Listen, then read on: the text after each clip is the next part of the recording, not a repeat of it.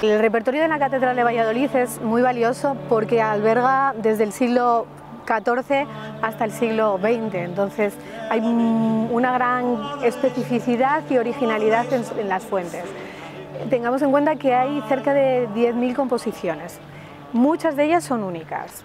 Este, este repertorio es muy excepcional porque a pesar de conservarse y en bastante buen estado en una institución religiosa, contiene una gran cantidad de repertorio profano, dejaron sus legados particulares a la catedral y eso es muy, muy extraño.